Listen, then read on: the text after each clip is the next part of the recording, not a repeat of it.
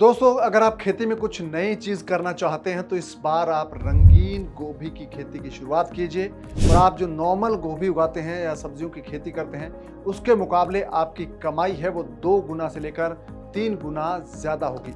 इसका कारण यह है कि जो रंगीन गोभी है वो बाज़ार में महँगी कीमत पर बिकती है और उनकी अच्छी खासी डिमांड है। अगर आप सफ़ेद गोभी की खेती करते हैं, यानी कि सफ़ेद फूल गोभी उगाते हैं तो आप इस बार रंगीन गोभी की खेती की भी ट्राई कर सकते हैं, उसको अपना सकते हैं। गुलाबी, बैंगनी, पीली और हरे रंग की गोभी है, वो आप अपने खेत में उगाएँगे तो आपकी कमाई बहुत अच्छी हो जाएगी। और आज इस वीडियो में हम जानेंगे कि रंगीन गोभी की खेती कैसे होती है। रंगीन गोभी है, जब आप उगाएँगे तो आपको कितना पैसा एक एकड़ से मिलेगा और आपकी कमाई है वो दो गुनी या तीन गुनी कैसे होगी? और ये जो रंगीन गोभी होती है, इसका रंग अलग अलग क्यों होता है? इसका क्या कारण है? और जो रंगीन गोभी है, उसकी मार्केट कहाँ पर है? और इसको करने का सही तरीका क्या है? ये तमाम चीज़ें आज हम जानेंगे, सीखेंगे इस वीडियो में। नमस्कार, मैं हूँ आपके साथ कुमार पवन और आप देख रहे हैं freedom of farming Hindi channel. तो दोस्तों, अगर आपने अब तक इस चैनल को सब्सक्राइब नहीं किया है तो सबसे पहले सब्सक्राइब कर लीजिए और एक चीज़ आपको और करनी है फ्रीडम ऐप डाउनलोड करना है। दोस्तों, रंगीन गोभी की हम बात करते हैं, जो तीन रंगों की गोभी है, वो सबसे ज़्यादा भारत में उगाई जाती है, खासतौर से उत्तर भारत में। हरे रंग की गोभी, गुलाबी, बैंगनी रंग की गोभी, और इसके अलावा एक होती है पीले रंग की गोभी। तो सबसे पहले हम बात करते हैं हरे रंग की गोभी, जिसको हम ब्रोकली कहते हैं। और ये हरे रंग की क्यों दिखती है? गोभी तो सफ़ेद रंग का जो फूल होता है गोभी का, ठीक उसी तरह की ये गोभी होती है, उसमें बहुत ही मामूली सा फ़र्क है, लेकिन ये हरी क्यों दिखती है? इसका कारण ये है कि दोस्तों, जो फ़सल होते हैं, पेड़ होते हैं, पत्ते होते हैं, वो हरे हमें इसलिए दिख रहे, दिखते हैं क्योंकि उनके अंदर एक तत्व होता है जिसका नाम है क्लोरोफिल पिगमेंट के कारण पत्ते हमें हरे दिखते हैं और पेड़ पौधे हरे नज़र आते हैं। तो वही जो पिगमेंट है, वही क्लोरोफिल है, वो इस गोभी में पाया जाता है, इसलिए इसका रंग हमें हरा दिखता है। इस हरे रंग की गोभी को कहते हैं ब्रोकली जो कि बाज़ार में बहुत महँगी बिकती है, सौ रुपये किलो से लेकर तीन सौ रुपये किलो तक इसके भाव होते हैं। और दूसरी है दोस्तों, पीले रंग की गोभी। इसको केरेटिना कहते हैं। केरोटिना इसलिए कहते हैं क्योंकि ये जो गोभी है, वो पीले रंग की इसलिए दिखती है क्योंकि इसके अंदर भी एक तत्व होता है जिसका नाम है केरोटिना। केरोटिना की वजह से ये गोभी पीली दिखती है और यही इसके खास इसकी खूबी मानी जाती है कि ये पीले रंग की होने के कारण इसके बाज़ार में डिमांड ज़्यादा है क्योंकि इसके अंदर पोषक तत्व ज़्यादा होते हैं। और इसके बाज़ार भाव भी लगभग सौ रुपये से लेकर दो सौ रुपये प्रति किलो आपको आराम से मिल सकते हैं। अगर आप सही तरीके से इसको सही मार्केट में पहुंचाएँगे तो आपको सौ रुपये किलो से लेकर दो सौ रुपये किलो इसकी कीमत आपको मिल सकती है। और तीसरी है दोस्तों, गुलाबी बैंगने रंग की गोभी, जो बहुत ही आकर्षक दिखती है। इसका रंग बहुत आकर्षक होता है, बहुत अट्रैक्टिव दिखती है। और ये इसलिए बैंगनी गुलाबी रंग की दिखती है क्योंकि इसमें एक तत्व होता है, एंथोसियानिन। एंथोसियानिन तत्व की वजह से ये गोभी गुलाबी बैंगनी रंग की दिखती है और इसका कलर बहुत आकर्षक होता है। जब आप इसको खरीदते हैं बाज़ार से उसको पकाते हैं, सब्ज़ी बनाते हैं तो इसका रंग और गहरा हो जाता है और इसमें भी काफ़ी पोषक तत्व होते हैं। इसलिए बाज़ार में इसकी कीमत ज़्यादा है, सौ रुपये किलो से लेकर दो सौ रुपये किलो तक। ये तो बात होगी रंगीन गोभी के बारे में कि वो रंगीन क्यों दिखती है। अब बात आती है कि रंगीन गोभी है, वो कहाँ पर उगाई जा सकती है, उसके लिए उपयुक्त जलवायु कौन सी होती है और मिट्टी कैसी हो। दोस्तों, उत्तर भारत में आप रंगीन गोभी की खेती कर सकते हैं, जहाँ पर तापमान ठंडा हो, यानी कि ठंडे मौसम में आप इसकी खेती कर सकते हैं। तापमान है, वो 10 डिग्री सेल्सियस से लेकर 25-30 डिग्री सेल्सियस के बीच रहता है। उन इलाकों में रंगीन गोभी की खेती बहुत अच्छे से करते हैं, आप खुले आसमान के नीचे कर सकते हैं। और उत्तर भारत में अगर हम सितंबर, अक्टूबर, नवंबर, दिसंबर के महीने देखें तो रंगीन गोभी की खेती के लिए बहुत ही उपयुक्त मौसम है।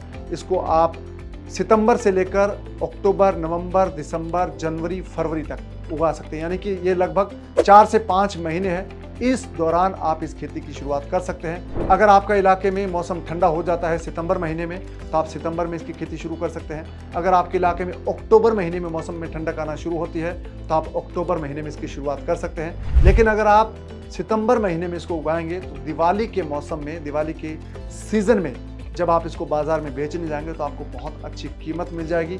इसलिए अगर आप इसकी खेती की शुरुआत सितंबर में करेंगे तो बहुत अच्छा रहेगा।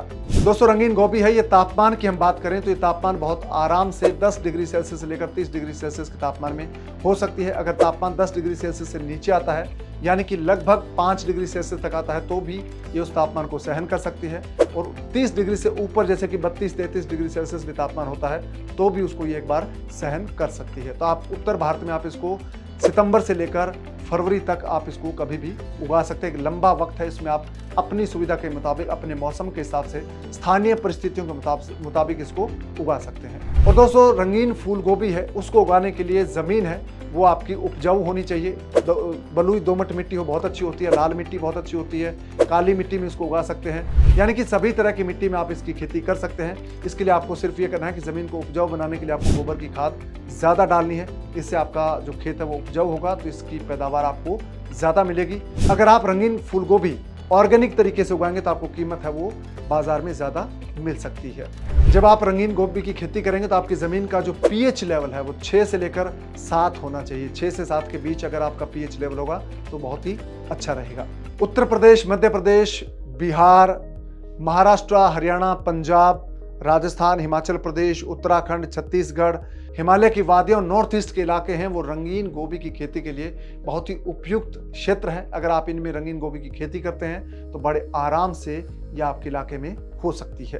अब बात आती है कि रंगीन गोभी के पौधे आपको कहाँ से मिलेंगे, बीज कहाँ मिलेंगे।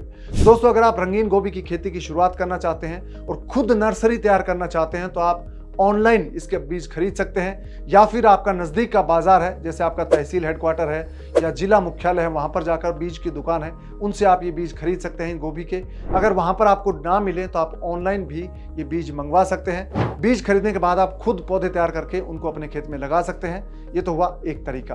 दूसरा तरीका यह है कि आप बाज़ार से पौधे खरीद सकते हैं। आपको अपने जिला मुख्यालय या आसपास के बाज़ार में जो रंगीन गोभी है, उसके पौधे मिल सकते हैं। अगर आपको नहीं मिलते हैं तो आप ऑनलाइन भी पौधे खरीद सकते हैं। बहुत सारी नर्सरीज हैं जो रंगीन फूल गोभी है, उसके पौधे बेचती हैं। दोस्तों, जब आप पौधे तैयार कर लेंगे, रंगीन फूल गोभी के, या बाज़ार से खरीद लेंगे तो आपको लगाने कैसे हैं? सबसे पहले आपको अपने खेत को गहरे हल से जुताई करनी है, पलाऊ से उसको कल्टीवेट करना है। इसके बाद आपको मेड़ बना लेनी है, यानी कि कतार बना लेनी है, डोली बना लेनी है, जिसके ऊपर आपको पौधे रोपने हैं। तो पौधे जब आप रोपेंगे तो आप पौधे से पौधे की दूरी है वो डेढ़ फीट रख सकते हैं और कतार से कतार की दूरी है, यानी कि डोली से डोले की दूरी है, वो लगभग आप दो फीट रखेंगे तो काफ़ी अच्छा रहेगा। या आप ढाई फीट भी रख सकते हैं, या तीन फीट भी रख सकते हैं, वो आप पे डिपेंड करता है कि आप कितनी दूरी पर लगाना चाहते हैं। लेकिन आइडियल जो सिचुएशन है, उसमें आप कतार से कतार की दूरी, यानी कि डोली से डोली की दूरी लगभग दो फीट रखें और पौधे से पौधे की दूरी डेढ़ फीट रखें। तो ये बहुत ही अच्छा कॉम्बिनेशन है। इसमें आप लगाएँगे तो आपको बहुत अच्छी पैदावार इसकी मिल जाएगी गोभी की। अगर आप कतार से कतार की दूरी दो फीट रखेंगे, पौधे से पौधे की दूरी अगर आप डेढ़ फीट रखेंगे तो आपके खेत में लगभग दस हज़ार से लेकर बारह हज़ार पौधे एक एकड़ में लग जाएँगे। यानी कि आपको दस हज़ार से लेकर बारह हज़ार फूल गोभी है।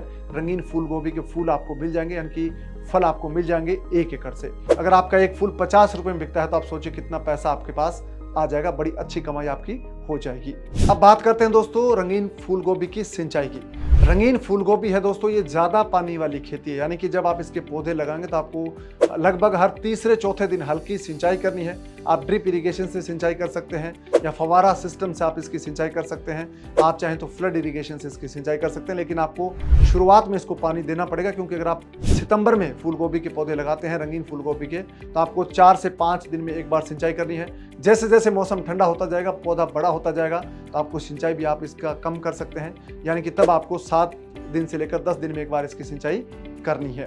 और रंगीन फूल गोभी है, वो लगभग 90 दिन से लेकर 100 दिन में या 110 दिन में आपकी पककर तैयार हो जाती है। जिस भी साइज़ का आप उसको तोड़ना चाहते हैं डिपेंड इस बात पे करता है कि अगर आप छोटा फल तोड़ना चाहते हैं तो आपका ये फल है 60 से 70 दिन में तैयार हो जाएगा। अगर आप इसको पूरा बड़ा फल तैयार करना चाहते हैं, पूरा बड़े साइज़ का अगर आप इसको पौधे को बनाना चाहते हैं तो आपका ये 90 से 100 दिन का वक्त लगेगा।